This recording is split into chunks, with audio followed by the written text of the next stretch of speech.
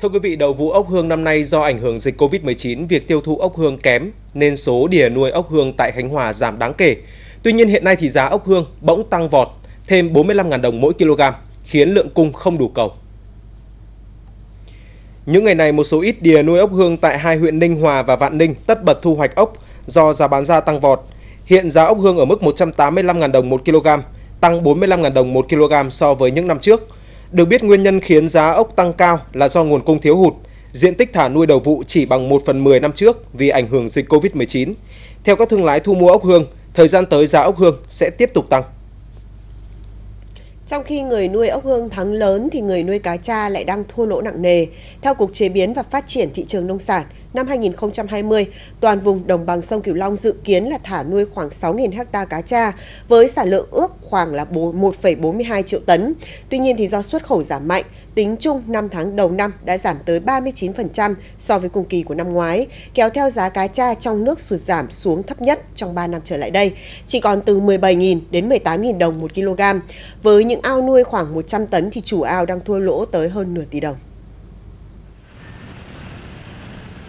Tại An Giang, cá tra thương phẩm hiện chỉ 17.000 đồng 1 kg.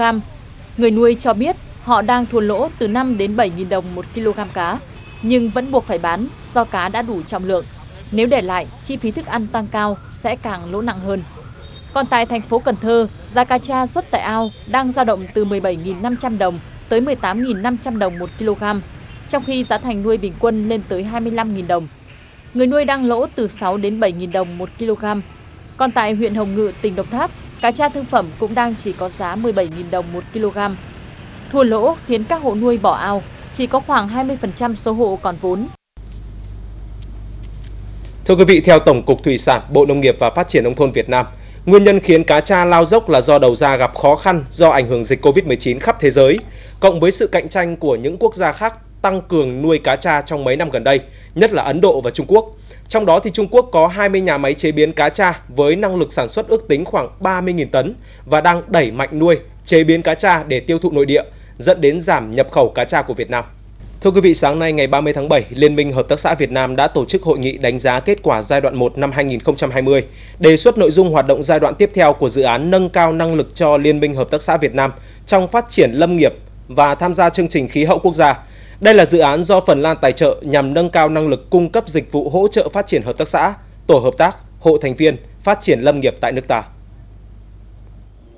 Trong giai đoạn 1, dự án đã tập trung tổ chức bồi dưỡng, nâng cao năng lực cho đội ngũ cán bộ các hợp tác xã lâm nghiệp ở các địa phương như trang bị kiến thức về quản lý rừng bền vững, phát triển hợp tác xã lâm nghiệp theo chuỗi giá trị.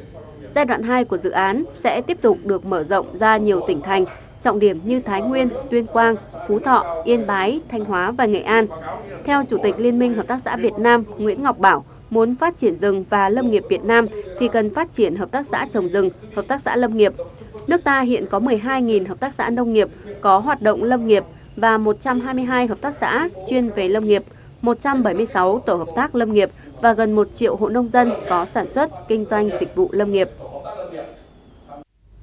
Vụ lúa hè thu năm 2020 tại các tỉnh miền Trung đang gặp rất nhiều khó khăn do hạn hán kéo dài. Ước tính có hàng chục nghìn hecta lúa có nguy cơ bị mất trắng. Không chỉ vậy mà nhiều diện tích lúa còn đang bị sâu bệnh và chuột tấn công.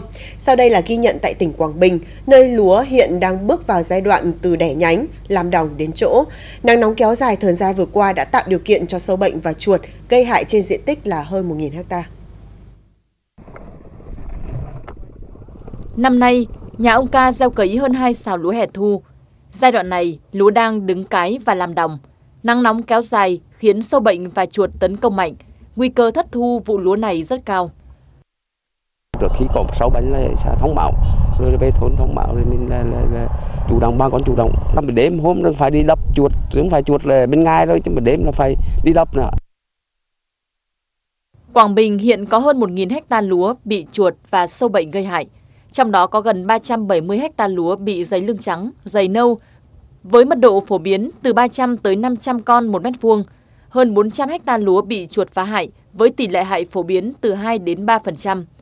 Ngoài ra, một số diện tích lúa bị sâu cuốn lá nhỏ, sâu đục thân, bệnh khô vằn và bệnh thối thân.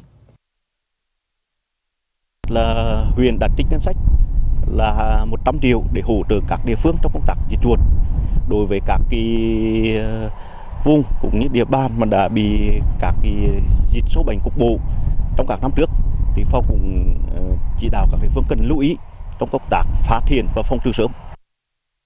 Chi cục trồng trọt và bảo vệ thực vật tỉnh đã chỉ đạo hướng dẫn các địa phương tiến hành củng cố công tác thủy lợi, thủy nông nội đồng, đảm bảo đủ nước tưới, đồng thời khuyến cáo người dân tích cực thăm đồng, giữ nước và kịp thời phát hiện sâu bệnh hại để phòng ngừa hiệu quả.